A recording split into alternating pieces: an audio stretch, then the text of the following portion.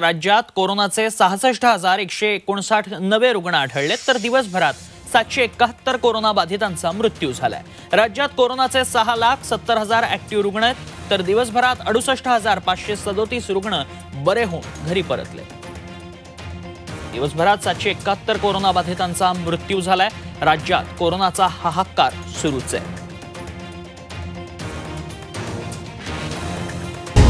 विकासाचा ध्यास. म्हणजे नवी मुंबईतील मु- मुंबई कृषी उत्पन्न बाजार समितीच्या अतिरिक्त सचिवपदी पणन संचालक सतीश सोनी यांची नियुक्ती करण्यात आली आहे. आज त्यांनी कार्यभार स्वीकारला. बाजार समितीचे सभापती अशोक डक यांनी सोनी यांचं स्वागत केलं. ब्रेक द चेन अंतर्गत राज्यात निर्बंध लागू करण्यात आले त्या निर्बंधांमध्येही अन्न साखळी पुरवठा पूर्ण करण्यासाठी बाजार समिती यापुढे काम करणार आहे. याआधीही एपीएमसीचे प्रशासक आणि अध्यक्ष म्हणून सोनी यांनी काम केलंय.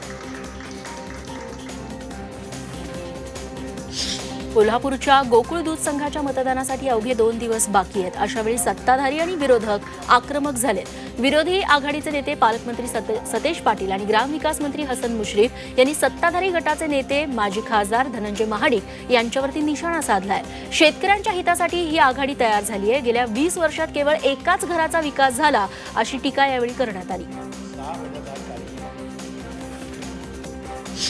सांगली जिल्ह्यात आज दुपारपासून पावसाला सुरुवात झाली. सांगली शहरासह तासगाव पलूस कवठे महांकाळ मिरज विट्यासह काही तालुक्यात दमदार पावसानं हजेरी लावली. तासगावच्या काही गावात तर गारांचाही पाऊस पडला. मागच्या तीन दिवसात सांगली जिल्ह्याला पावसानं झोडपून काढलंय. रब्बीची पिकं काढल्यानं ती पिकं बचावली आहेत पण सांगलीतल्या काही द्राक्ष उत्पादक शेतकऱ्यांच्या बागा अजून जायच्या आहेत. त्यामुळे काही बागा आणि फळपिकांना या पावसाचा फटका बसण्याची शक्यता आहे.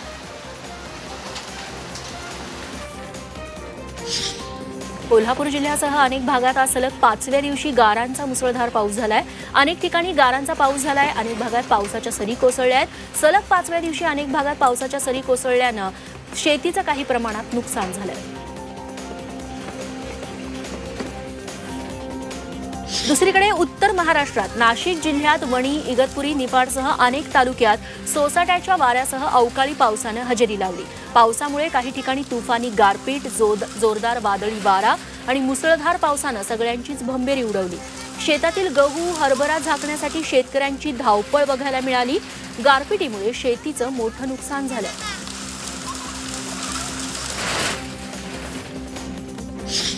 लातूर जिल्ह्यात काही भागात अवकाळी पावसानं हजेरी लावली. निलंगा शहर आणि परिसरात वादळी वाऱ्यासह जोरदार पाऊस बरसला.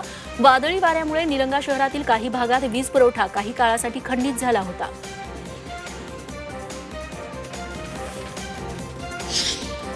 चंद्रपूर जिल्ह्यातल्या ताडोबाच्या बफर झोनमध्ये दोन मोठ्या अस्वली आणि दोन पिलांचा मृत्यू झालाय.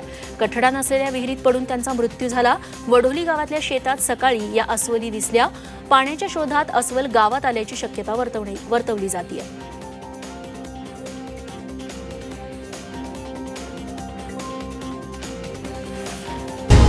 विकासाचा ध्यास म्हणजे